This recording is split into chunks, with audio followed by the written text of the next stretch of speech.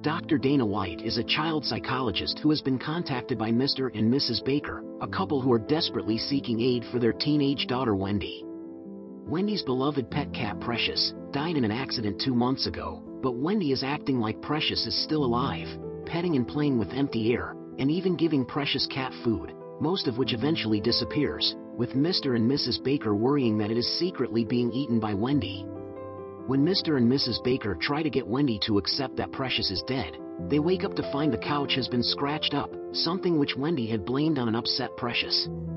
Dana convinces Wendy to allow her to take photographs of Precious in an attempt to show there is no cat and hopefully help shatter Wendy's delusions about Precious.